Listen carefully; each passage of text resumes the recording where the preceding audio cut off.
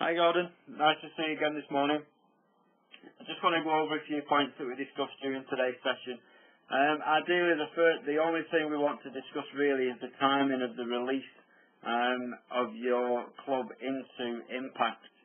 Um, so ideally, having a look at this position now, um, I'll draw a couple of lines on. Looking at your arm and your club angle, the, that's halfway down um, into your halfway on your downswing. Um, so we take it a couple more frames. Again here now, just looking at this angle as it's getting shallower as you started to release that club a little bit too soon. And we're coming in.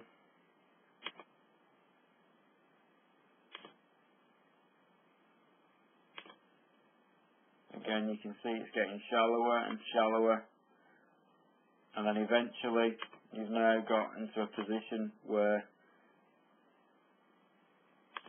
your club head has now taken over your hands. Now ideally your hands should lead the club head into the impact area, but you can see on this position as you've just come to hit that golf ball, how you, your hands have now overtaken, uh, your club head, sorry, has overtaken those hands, giving you that flicking or lifting action of the golf ball. So that's going to cause um, the shallowing out of your club into the golf ball, um, creating that fat shot or the catching of the ground just before the golf ball and those thin shots that you've been experiencing over the last couple of weeks. Uh, if we have a quick look here at Luke Donald um, on the top right hand side, again I'll pop a little line up there just to highlight his shaft angles as we set you down. A couple more frames. You can see as he's in a position now just before impact you can see these hands are still in front of that club head as he comes hitting that golf ball again his hands are still in front of that club head ever so slightly they're still in front and it's only afterwards now he's got a complete straight line between his left arm and the shaft of his golf club but now the golf ball's gone so that's allowing him to bring the club down from a nice angle. Um, so he's got a good angle of attack into that golf ball, allowing him to strike the ball or strike down into that golf ball and hit it consistently well each time. Um, it's also allowing his forearms to rotate correctly through the golf ball to square that club face off um, to allow him to hit the ball down his target line.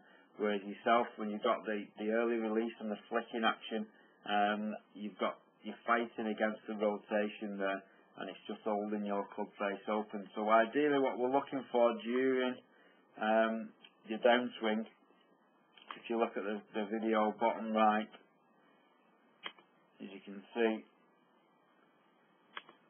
that from that position onwards, the hands are going to lead that club head. So you're going to hold the cocking of your wrist or the 90 degrees wrist cock that you've got during that backswing, you're going to hold that for as long as possible. And as you're approaching impact, your hands are going to lead the club head. So impact, your hands should be sort of opposite your left side rather than opposite the right side like yours are at the moment on the left hand uh, video. So your hands are going to lead that club head and then as you're coming through impact, you're going to allow your right hand to rotate over the top of your left to square that club face off.